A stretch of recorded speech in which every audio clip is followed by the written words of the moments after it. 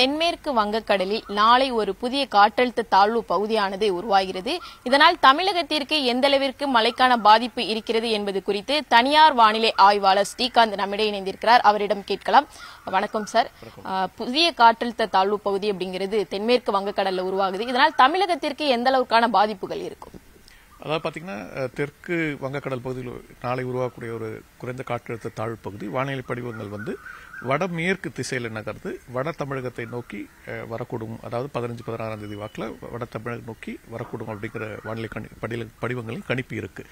இதன் காரணமாக கடலோர தமிழகத்தில் பெரும்பாலும் டெல்டாலிருந்து வட தமிழகம் திருவள்ளூர் மாவட்டத்தின் கடலோர பகுதி வரைக்கும் பரவலாக நமக்கு வந்து மழை இருக்கும். நாளை முதல் மழையின் தீவிரம் சற்று அதிகரிக்கக்கூடும். நாளை இரவு செவ்வாய்க்கிழமை காலையில் பல இடங்களில் நம்ம பலத்த மழை எதிர்பார்க்கலாம்.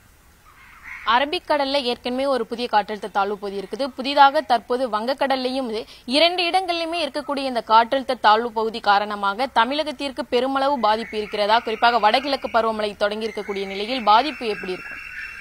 அதான் பார்த்தீங்கன்னா ரெண்டு சுழற்சி இருக்கிறதுனால இந்த ரெண்டு சுழற்சிகள் ஒன்றோடு ஒன்று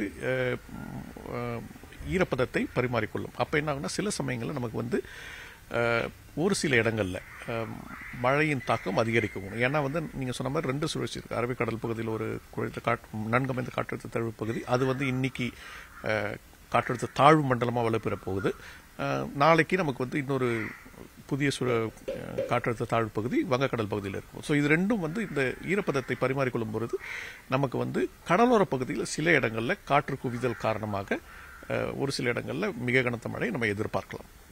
சென்னையை பொறுத்தவரை செவ்வாய்க்கிழமை வந்துட்டு ம- மிக கனமழைக்கான ஆரஞ்சு நிற எச்சரிக்கை விடுக்கப்பட்டு இருக்கிறது மழை எந்த அளவுக்கு இருக்கும்? குறிப்பா வந்துட்டு வடகிழக்கு பருவமழை அப்படிங்கிற போது நம்ம டிசம்பர் மாதத்துல தான் சென்னையை பொறுத்தவரை அதிக மழை எதிர்பார்ப்போம். தற்போது இப்போதே வந்து இருக்கிறது இதற்கான காரணம் எந்த அளவிற்கு மழை என்பது அதிக அளவில் இருக்கு?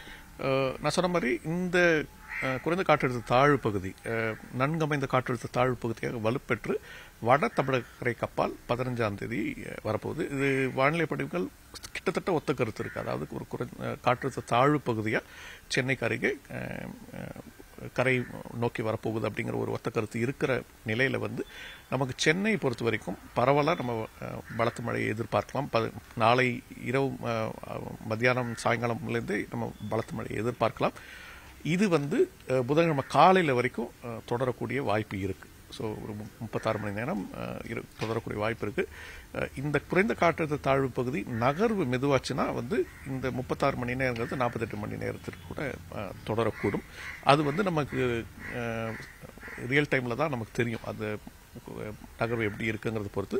சென்னை பொறுத்த வரைக்கும் செவ்வாய் புதன் இர திங்கள் நான் இருந்தே வந்து நம்ம கவனமாக இருக்கணும். மதுரையை பொறுத்தவரை நேற்று மட்டுமே பதினாறு சென்டிமீட்டர் கிட்டத்தட்ட மழை அதிகபட்சமாக பதிவாகி இருக்கிறது. கனமழையை பொறுத்தவரை மதுரைக்கு வந்துட்டு நம்ம எச்சரிக்கை கொடுக்கவே இல்லை நேற்றை பொறுத்தவரை. ஆனால் வந்து திடீரென்ற இந்த மிக கனமழை அப்படிங்கிறது மதுரைக்கு எப்படி சார் கிடைக்கும்? முன்னாடி சொன்ன மாதிரி ரெண்டு சுழற்சி இருக்கு. ஆக்சுவலாக மூணு சுழற்சி இருக்கு. ஒன்று வந்து அரபிக்கடலில் இருக்கக்கூடிய அந்த நன்கமைந்த காற்றழுத்த தாழ்வு பகுதி குமரிக்கடல் பகுதியில் ஒரு வளிமண்டல சுழற்சி ஒன்று இருக்கு. மத்திய வங்க தெற்கு வங்கக்கடல் பகுதியில் இன்னொரு சுழற்சி இருக்குது இந்த தெற்கு வங்கக்கடலில் இருக்கக்கூடிய சுழற்சி தான் நம்ம குறைந்த காற்றழுத்த தாழ்வு பகுதியாக மாறப்போகுதுன்னு சொல்லியிருக்கோம். இப்போ இந்த குமரிக்கடல் பகுதியில் இருக்கக்கூடிய அந்த வளிமண்டல சுழற்சி இந்த இரண்டு சுழற்சிக்கும் இடைப்பட்ட ஒரு அதை அது என்ன சொல்கிறது கண்டுவிட்டுன்னு சொல்லுவோம் தான் இங்கிலீஷில்.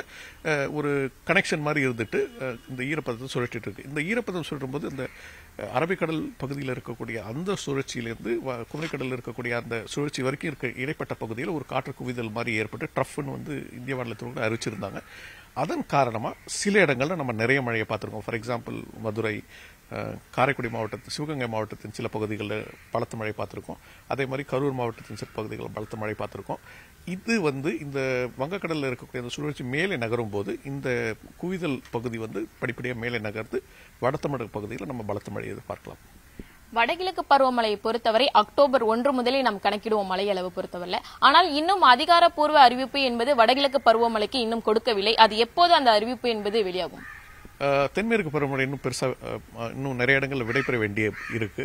ஃபார் எக்ஸாம்பிள் இந்த அரபிக்கடல் இருக்கக்கூடிய சூழ்ச்சி காரணமாக மகாராஷ்டிராவில் இன்னும் வந்து இடிமின்னல் கூடிய மழை பெய்துட்டு வருது அதனால வந்து வடகிழக்கு பருவமழை துவங்குவதற்கு தென்மேற்கு பருவமழை முற்றிலும் விடைபெற வேண்டும். அதாவது பதினஞ்சு டிகிரி அட்சரேகை வரைக்கும் முற்றிலும் விடைபெற்றதுக்கு அப்புறம் தான் வந்து வடகிழக்கு பருவமழை துவங்கியதுன்னு அதிகாரப்பூர்வமாக அறிவிக்க முடியும். அதுதான் இந்திய வானிலை துறையில் வடகிழக்கு பொறுத்த பொறு மழையை பொறுத்த வரைக்கும் அவங்க வச்சுருக்கிற அந்த ப்ரோட்டோக்கால் ஸோ இது வந்து இன்னொரு ரெண்டு மூணு நாளைக்கு நடக்கிறதுக்கு வாய்ப்பு கம்மின்னு தான் நான் சொல்வேன். ஏன்னா வந்து உங்களுக்கு இந்த குறைந்த காற்றழுத்த தாழ்வு பகுதியும் வந்து பதினஞ்சு டிகிரிக்கு மேலே இருக்கக்கூடிய பகுதியில் மழை கொடுக்கக்கூடும்.